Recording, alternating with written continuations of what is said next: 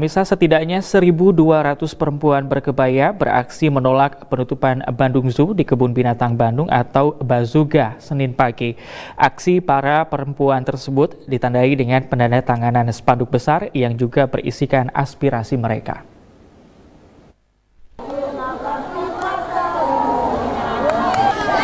Ratusan perempuan berkebaya beraksi menolak penutupan Bandung Zoological Garden atau yang dahulu dikenal sebagai Kebun Binatang Bandung Senin 8 Agustus 2022 pagi.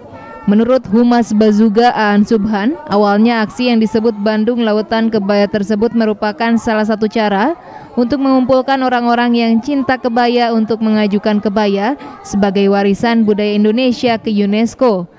Karena pandemi COVID-19, aksi tersebut harus dilakukan di ruang terbuka, sehingga terpilihlah Bazuga yang sedang dalam konflik dengan pemerintah kota Bandung.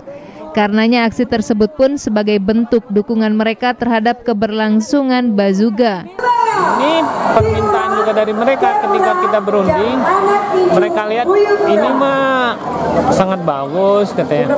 Kenapa mereka baca di media kenapa mau disegel aku bilang kan belum terus mereka kita kita dukung kebun binatang katanya ini juga ide mereka hashtag jangan segel kebun binatang kami Hal tersebut pun ditegaskan anggota DPR Republik Indonesia Niko Siahaan.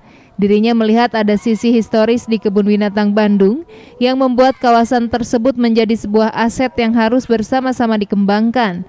Niko berharap jangan sampai ada ego dari masing-masing pihak sehingga harus ada pertemuan antara kedua belah pihak untuk membicarakan baik-baik permasalahan tersebut. Saat ini sebenarnya sedang uh, apa namanya berkonflik lah.